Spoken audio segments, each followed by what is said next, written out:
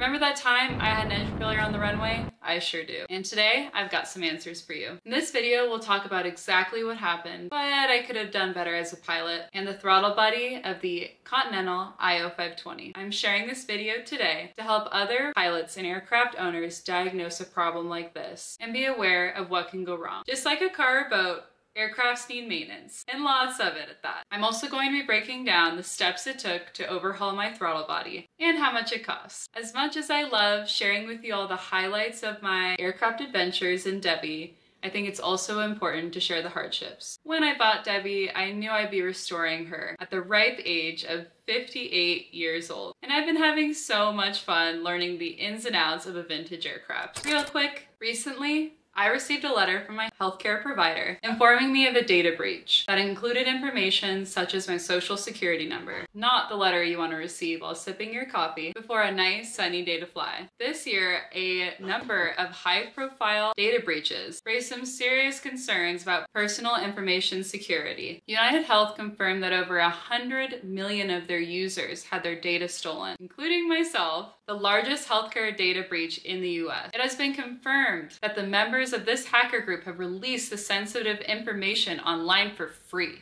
Now's the time to take your personal information online seriously. You are more vulnerable than ever in today's digital landscape. That's why I'm so thankful for today's sponsor, Aura. Aura monitors your personal data, including your social security number across billions of data points like the dark web and public court records to alert you about potential identity theft. Plus, Aura offers a variety of other features to keep you safe online, including real-time alerts for data breaches, a VPN to secure browsing, data broker opt-out to companies from selling your personal information, a password manager to help you create and store strong passwords, and more. I'm not leaving myself or my family open to data breaches. And if you don't want to either, you can go to aura.com slash Hayley Herberg to try two weeks for free. That will be enough time for Aura to find out if any personal information has been exposed. Link is also in this video's bio below. Now let's finish our coffee in peace, knowing our personal information online is safe. And let's continue with today's video.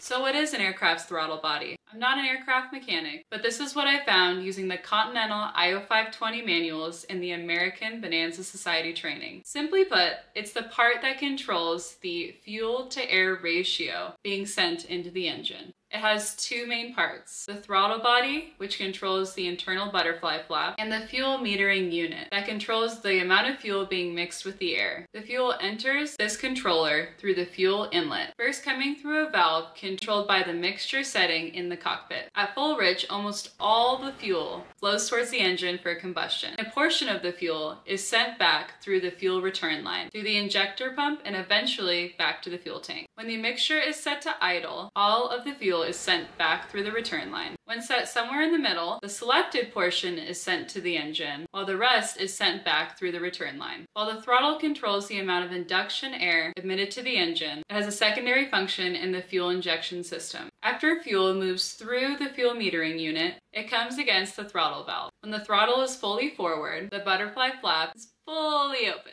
All fuel after being metered continues through this valve to the engine for combustion. As the throttle is retarded, this closes the butterfly flap, as well as closes the valve for fuel flow. This causes fuel to back up to the fuel metering unit and automatically leans the mixture. There is also an idle setting on the mixture control that allows the correct amount of fuel through the metering unit. So now that we understand how the throttle body works, let's talk about the failure that me and my mechanic found in my throttle body. We turned on the battery, as well as the fuel pump, to create pressure in the lines. As I moved my throttle and mixture in the cockpit, we found the fuel inlet was leaking generously with every movement. Yikes. However, as soon as we turned the aircraft off, there was no more leak. This made finding the problem pretty tricky. Now, from understanding the throttle body, we can also understand why an aircraft may become starved of fuel and stall on rollout at the idle position on the runway. During run-up, it's also important to make sure you check your engine at idle. More than for two seconds, because if I had done so for more than two seconds, I may have found the problem sooner. After my engine stalled on rollout, I also tried to restart my engine and proceed off the runway. On my last video, I had someone leave a helpful comment as to why my battery may have started having issues. My aircraft has a 12 volt battery, which is necessary for things such as avionics, lights, and of course, the starter. I tried to restart the engine while leaving the radio and landing light on, as Tower was in the middle of trying to contact me. Both the starter and landing light take a large load from the battery, and therefore by trying to restart my engine with everything on, I was unable to. In retrospect, I feel it was most likely pilot error for my not being able to restart my engine on the ground after the stall. It's so important to follow checklists while flying an airplane, and I feel if I had just slowed down, took a breath, and read my checklist for a hot start, I probably would have been able to restart my engine. So it's important to remember to always follow your checklist, even in high stress environments like a towered airport with someone on final right after you while talking to the controller being stalled at the end of the runway. So in retrospect, I should have asked the tower to turn off everything on my aircraft so I could restart without overloading the battery. Also, anyone who knows the Continental IO520 in the Bonanza knows that those are so hard to start hot. so what's next? Well, I decided to overhaul my entire throttle body. This means it was sent back to the manufacturer to inspect, clean, and repair. This restores the part's performance and efficiency. My throttle body took three weeks for this whole process, making it so I was unable to go on a trip that was planned for three months. We were supposed to go to the Oregon coast. I already knew when I sent out my throttle body that these things usually take longer than guessed but I was still hoping for the best. My throttle body only had 900 hours on it, and the TBO, according to manufacturer standards, was 1700 hours. So keep an eye out.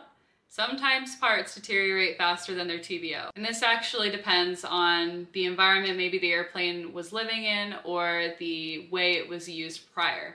And finally, what some of you have been patiently waiting to hear, this grand venture cost me a total of $1,900 including labor and the overhaul. Airplanes are cheap.